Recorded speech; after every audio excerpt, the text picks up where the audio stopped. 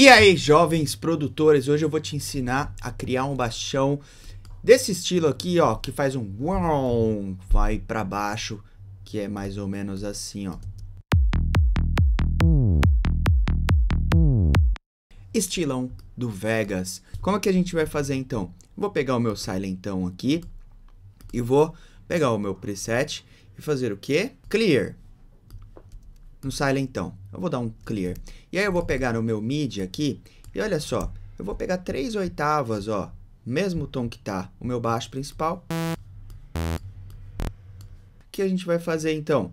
O grande segredo é o portamento aqui, ó. Eu vou abrir o meu filtro aqui, um low pass. Pode abrir um pouco as vozes ou muito. E aí a gente já tem esse baixão irado fazendo um down bass para você que produz prog trance aí vai ficar algo mais ou menos assim, ó.